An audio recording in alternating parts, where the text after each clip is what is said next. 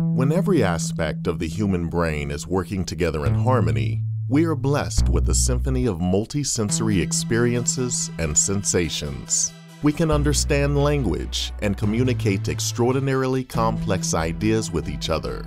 We can appreciate the beauty of nature and discover what it feels like to find meaning in our lives. The whole brain, when functioning correctly, is a phenomenal dance coordinating 20 million billion bits of information every second and mapping a three-dimensional projection of the world in a flurry of insight and deeply personal experiences. The human brain is capable of producing anything from a profound, transcendental meditative experience to being triggered into a senseless fit of rage, fear, or depression. But what makes our brains react the way they do? Is there a reliable way to condition your brain for better experiences? At birth, the human brain is a flurry of superfluous connections with almost every part of the brain connected to every other part of the brain. During the first two years of life, the human brain undergoes the first major stage of the lifelong process of synaptic pruning. Synaptic pruning is the process of synapse elimination that occurs in a developing brain that is shedding unnecessary connections. The selection of the pruned connections follow the use it or lose it principle, or neurons that fire together, wire together. This means synapses that are frequently used have strong connections, while the rarely used synapses are eliminated. Pruning is influenced by many environmental factors and is widely thought to represent learning. The developing brain sheds unnecessary connections and empowers the connections that aid in survival and mastery of the environment.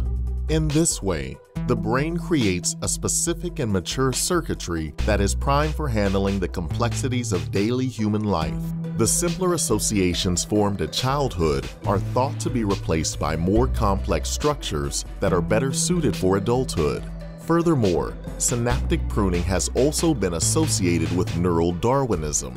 When a herd of bison is hunted, the slowest bison at the back of the herd are the most likely to die.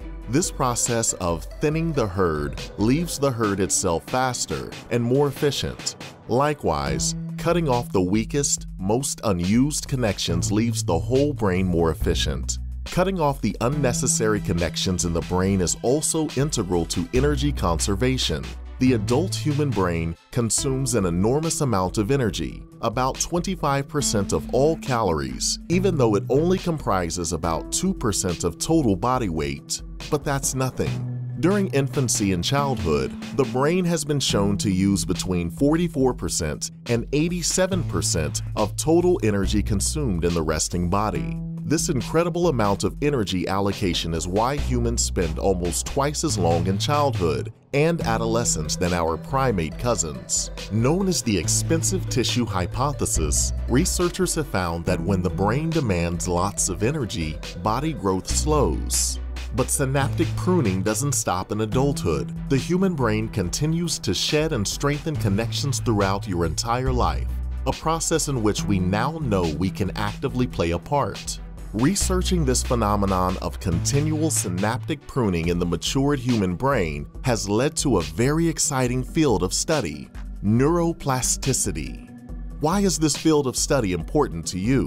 Because neuroplasticity implies you have the ability to change your brain. Just think, your brain is currently processing an untold amount of data, but you are only aware of a tiny meandering fraction of it. Rewiring your brain to process incoming data in new ways is the ultimate key to changing your life for the better.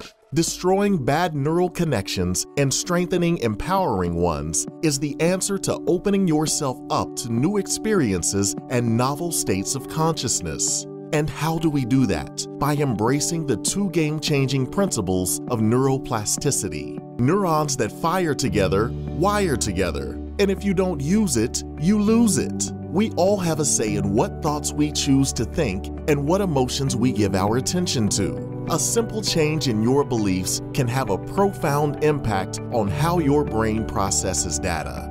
On top of your thoughts, emotions, and beliefs, you are constantly writing the blueprints of your neural circuitry through your daily routines and rituals. Just imagine what neural connections you will change if you spend your work commute in a state of gratitude instead of a fit of anger and road rage. There are no known limits to how much we can affect the way our brains are wired up. So become the subject of your own life experiment Limit time spent endorsing negative thoughts and maximize the volume of positive ones. Develop and explore empowering emotional states and stay aware of how your feelings affect the way you process reality.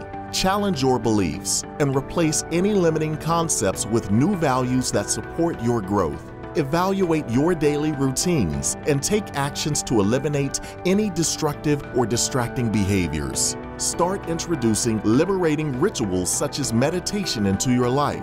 Pursue new experiences. Free yourself from your past attachments and perceptions and use your imagination to access your highest potentials. Maximize the capacity of your five senses and go beyond the limits of your everyday mind. The gift of a living human brain is a present that defies all comprehension.